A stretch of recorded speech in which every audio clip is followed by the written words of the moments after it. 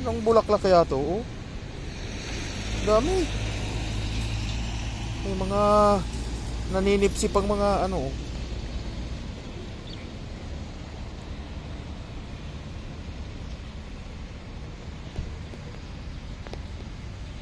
Ayan. Daming naninipsip ng nektar ng bulaklak o Ayan oh. Kwanto eh. Honeybee.